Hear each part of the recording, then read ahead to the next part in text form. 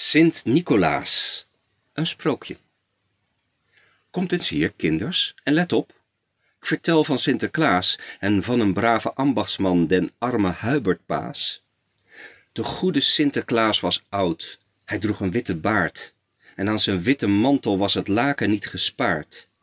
En als hij van zijn hoge stoep den weg nam door de stad, en dan zo deftig met die baard en met die mantel trad, dat wisten ook de kinders al, naar welke kant hij ging, en waarom weer dat brede zeil hem van de schouders hing.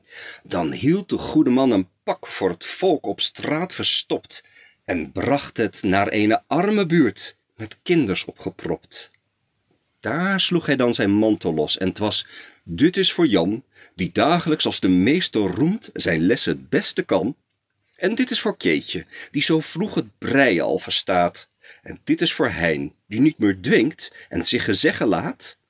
En hier komt voor dien zieke bloed, daar ginder in den hoek, een peperhuis met vijgen aan en ook een prentenboek. Zo stapte hij deur in deur uit, van steeg tot steegje voort. Maar als hij op zijn schimmel zat, dan ging het door de poort. Dan reed hij naar de buitenlui en Schimmel had zijn vracht, want ieder kind een uur in het rond dat arm was, werd herdacht.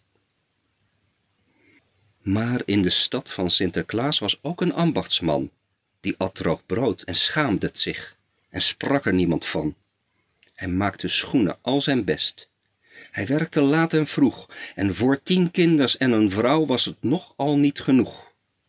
Doch Sinterklaas vernamt in t lest, wat hij niet weten wou, en zocht bij nacht zijn woning op door duisternis en kou.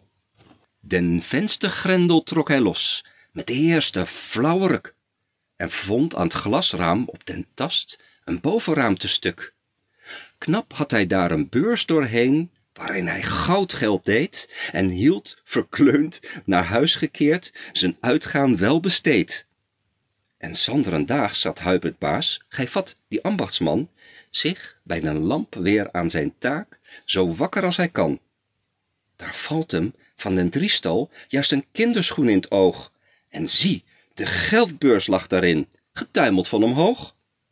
Nu denkt wat vreugd bij man en vrouw, en kinderen alle tien, wie om een hoekje van nabij hun vreugde eens had gezien. Nochtans de vreugd was kort van duur, want Hubert riep, houd stil, het gevonden is geen oortje waard, voor die niet stelen wil. Het hoort zeker aan dien vreemde heer van gisteravond laat. Hij stond, toen hij zijn riemen kocht, omtrent waar Antje staat.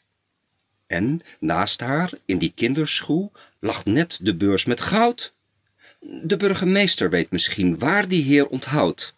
Daar is mijn schort, ik moet erheen. Ik wil lopen wat ik kan. Zo sprak Huip, en gelijk hij sprak, zo deed de brave man. Maar wat de burgemeester deed, hij ging naar Sinterklaas, want die toch schonk, naar hij begreep, het geld aan Hubert baas. Ras haalt men Hubert. Hubert komt, zijn meetuig in de hand. De goede ziel kreeg Sinterklaas gelijk hij dacht tot klant. Maar Sinterklaas sprak, Hubert baas, ik ben de man van het geld. Uw venstergrendel deed ik zelf, bij duistere nacht geweld. De beurs is in een kinderschoen gevallen, naar ik hoor.